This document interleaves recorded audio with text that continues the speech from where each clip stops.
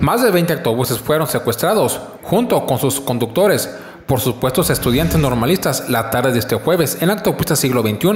Los automotores fueron llevados a Tiripitio y Calzoncin. Cerca de las 14.30 horas se reportó que en el entroque a Sirahuel sobre la autopista los normalistas obligaron a los conductores a detener la marcha de las unidades, bajando al pasaje en plena carretera y secuestrando los autobuses para trasladarlos a la escuela normal de Tiripitio y presumiblemente a la comunidad de Calzoncin. Por el momento no se tiene conocimiento de alguna reacción por parte de las autoridades para recuperar las unidades secuestradas. Asimismo se reportó que los estudiantes todavía continúan apoderándose de más automotores.